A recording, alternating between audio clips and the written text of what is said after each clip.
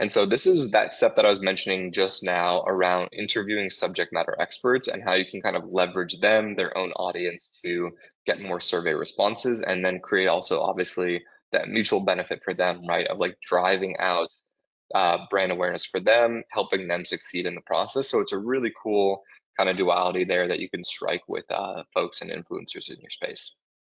So here's an example of uh, a quote that we got for the study here from Brian Dean. So if you're in the SEO space, you've probably heard of him. Um, sold Backlinko to SEMrush, doing some other cool stuff around exploding topics. So we just reached out to him and connected and uh, started to share a little bit of our, our insights into the study so far that we had collected, shared him a little bit of our background process here and just got his, his raw thoughts on that, right? So we, we prefer to send them the survey data uh, raw as quickly as you can. So collecting some of that initial data early on and then going to your subject matter experts and saying, hey, here's the data we've already found here. Super interesting stuff. Thought you might want to take a look. that really is your hook to get in the door, right? You don't want to necessarily jump in there and ask for favors immediately.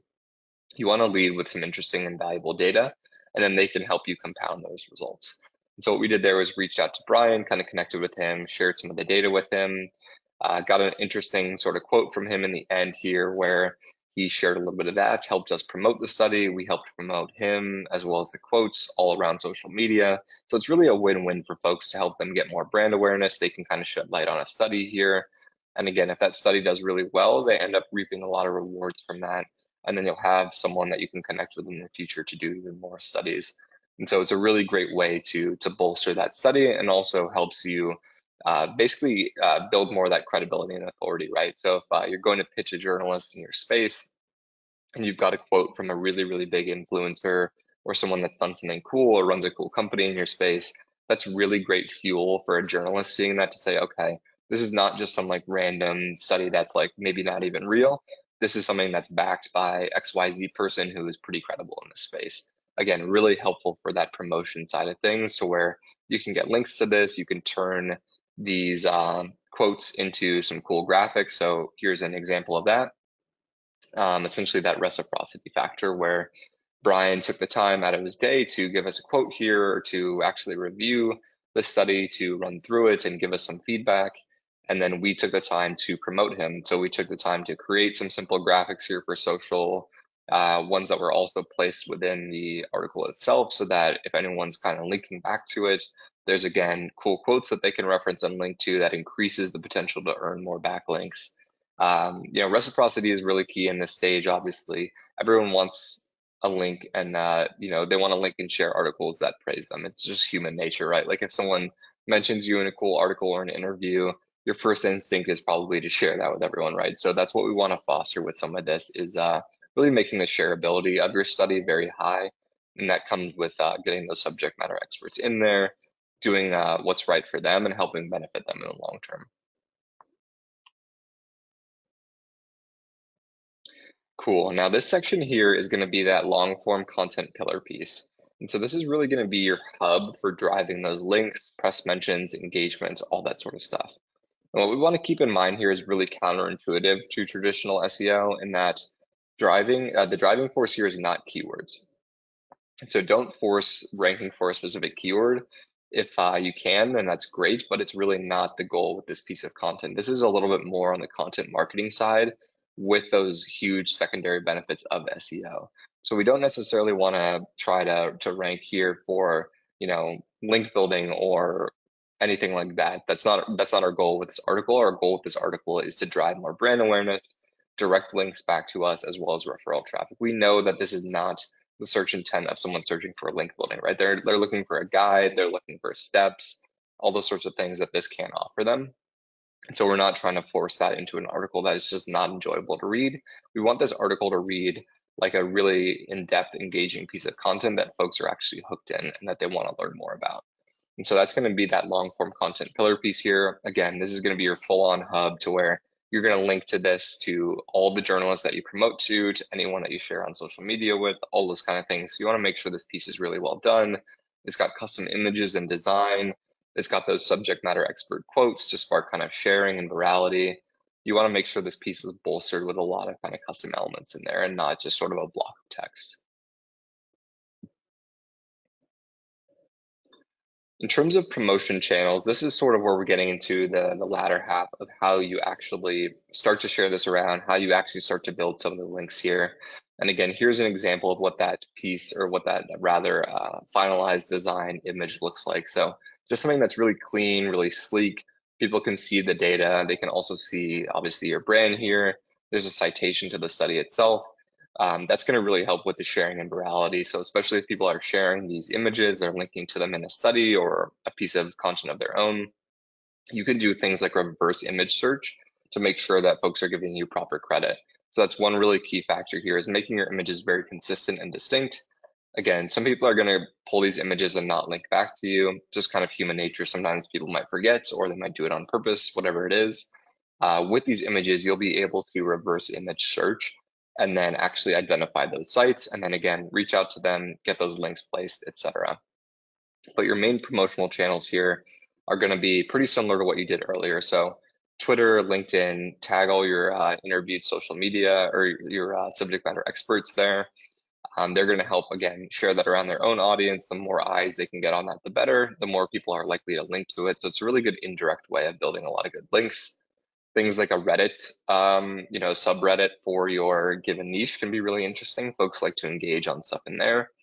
Uh, Hacker News or Growth Hackers, if you're in sort of that tech space as a whole, really great place to post this. You'll get people that are pretty engaged in that community, uh, that have good connections and are willing to kind of share this around.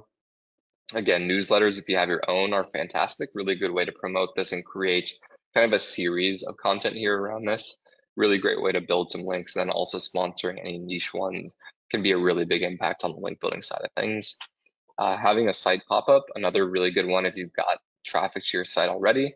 You can just create a really quick kind of like banner pop up or a, a sidebar that shoots in and essentially share some of that data just right off the top so that people can kind of click into it. They'll see it really quickly. They'll be able to sort of share that data around.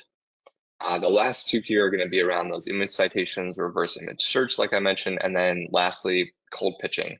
This is going to be where you're you're going back to that initial list of those journalists, media owners, bloggers, you know, site managers, things like that from the SparkToro research, and you're cold pitching heavily uh, the content that you have just created. And when you're cold pitching a lot of this, what you want to do is focus around that value proposition of it being data that they haven't seen before and that they'll likely be able to utilize. So you don't want to directly ask them for a link. You don't want to say, hey, can you link to this article here? Generally speaking, that's not going to generate too great of results if you're doing that on sort of the first touch email. What you want to focus on for that first touch email is going to tend to be just a broad scale approach to sharing that data. So just a quick couple bullet points. We all are busy. We've all got, you know, crammed inboxes we just want to make that really simple and say, hey, you know, I know you covered this topic already. Here's three cool unique data points we found after surveying X, you know, 500 different people in XYZ niche. And then just list those data points and say, can I send you the raw data or can I send you the data, the spreadsheet, whatever it is. Uh, that's going to be a really good foot in the door there to where you're actually building a genuine relationship with someone and you're not just kind of trying to extort them from a link side of things. People can feel that. We've all seen those spammy emails around link building. So I don't even mention that in your initial email there. Really make it about the data and about saying, hey, you cover these topics a lot. Like I think you'll find this interesting and here's that data to back it up. That's really going to increase the, you know, open rates, the response rates, the actual like link placement rates that you get at the end. So that's really what I'd recommend here. Uh, a good example of this is Content, Content Marketing Institute. So one of the links we landed here, one of the first links we landed uh, was simply doing that exact method there of uh, going to someone on Content Marketing Institute, a journalist there who wrote um, almost exclusively about the link building side of things, sending them a quick email saying, hey, here's the cool data. Here's what we found. Thought you might find it interesting. Here's that raw data set and a link to it. Go check it out. Um, they, they loved it. They were really curious about it, and they ended up writing a pretty cool article here about you know the basics of link building and then included our data within that. Um, so it's a really cool way to just build relationships long term too. So now now you've got that relationship you can leverage in the future, right? And you can say, hey, I published another one about this, or I recently updated it. Feel free to check it out, or I'd like to you know get a quote from you to share on socials. There's really cool ways that you can foster this for the long term and treat this as an ongoing exercise that you do versus you know just going into it with a mindset of I'm gonna just spam people and ask them to link to it. usually you're just going to not see good results from it. And if you're investing this much time and effort, we want to make sure that it's paying off. Cool. Jenna, I don't know if there's any other questions or anything. Uh, feel free to jump in if so. And if not, I can kind of cover the last few link strategies here beyond the, you know, digital PR and the things. Um, we have one question. Uh, someone wants to know if you can go deeper into um, how to get more survey responses by sponsoring niche newsletters.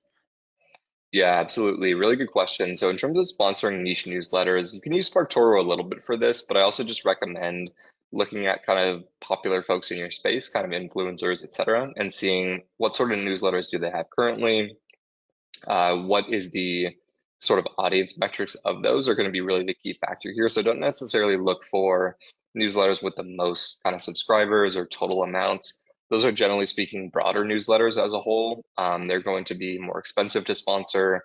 Ones that are a little more niche within that like a thousand to five thousand range tend to be the best for this as they're pretty cheap to sponsor and you might even be able to strike a deal where you don't pay anything to sponsor them and you give them something for free in exchange or you help promote them. If you're a larger brand potentially you can help promote them on different socials. Within that article you can do kind of a mutual value exchange. Um, so there's a really cool way to do that. It's just identifying those folks and kind of striking up that conversation. Again if you've got a small budget there try to go in with a value-based approach and uh, try to get some of their own advice for the article itself and then have them help promote it. If you've got a little bit of a larger budget, you can kind of play around with launching different newsletters there. But we really like that strategy as a whole, as you're basically just tapping into other people's audiences. It ends up being cheaper most of the time than uh, doing like a bunch of ads for the long term or like trying to pay directly for a survey response to given people.